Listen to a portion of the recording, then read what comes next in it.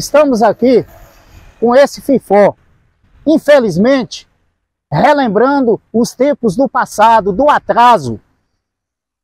Porque nos tempos atuais, depois que o município em 2020 tomou cerca de 10 milhões de reais para iluminação pública, onde mensalmente os conquistenses paguem suas contas de energia, a CIP, que é a contribuição de iluminação pública, você se depara com um cenário triste, de escuridão de breu, uma das principais avenidas de Vitória da Conquista, que é a Avenida da Integração.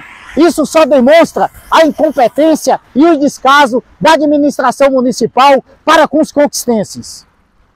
Estamos aqui em mais um ponto de Vitória da Conquista, Avenida Filipinas, uma das principais vias, que inclusive é ligação para o hospital de base. E constatamos uma plena escuridão, propiciando a possibilidade de assaltos e de acidente às pessoas que aqui transitam.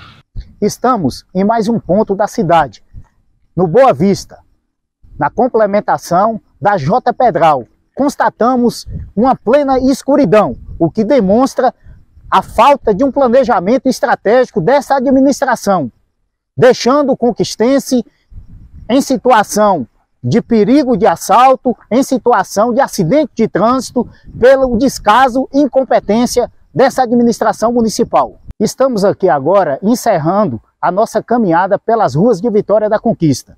Estamos no bairro Recreio, acesso à FTC, um logradouro que passa muitos estudantes. E aqui constatamos uma plena escuridão, mais uma vez demonstrando o descaso e a incompetência da administração municipal. Dá a entender que alguns dos secretários da administração sequer conhecem Vitória da Conquista.